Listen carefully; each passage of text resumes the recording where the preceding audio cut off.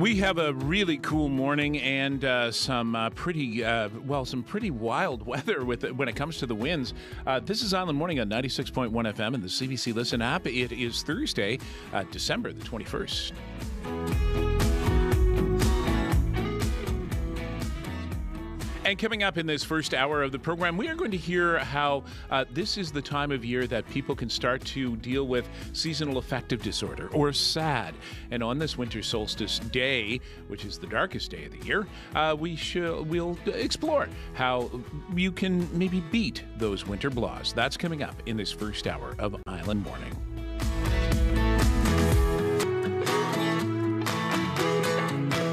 And we do expect to talk to Tina Simpkin here shortly about uh, the weather, which is going to be a little unpleasant. And Laura has been chatting uh, with folks about what the roads are like right now. Yeah, the plow dispatcher in Kings County says conditions in that part of the province are deteriorating uh, with snow coming down in some areas of blowing snow. So all plows, salters, and sanders are out in that part of the province.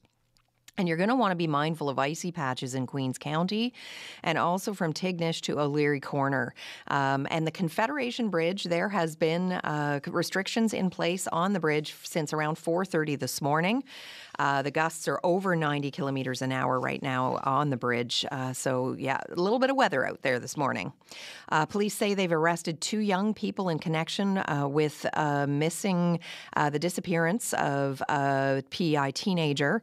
Um, the 17 year old reported missing late last week. so, we will hear from RCMP on that case. And Charlottetown's mayor says the city's planning department is working on a workaround so that the eight story Porthouse apartment at 199 Grafton Street Street can go ahead. So we'll hear from Philip Brown on that coming up at 6.30. And it is coming up to uh, 13 minutes after 6 o'clock right now.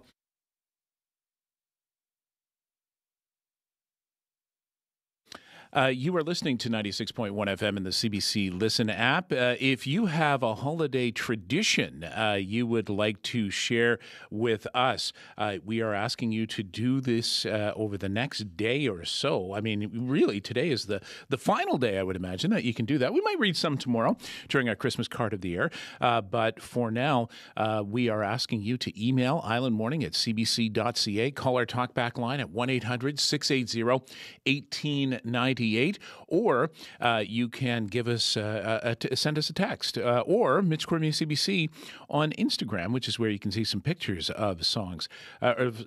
of some trees and the tea towels that we are giving away. Sorry, 13 minutes after 6 right now. We're going to play Gordon Lightfoot to start the day? Yeah, yeah, we should on Winter Solstice Day. This is Song for a Winter's Night.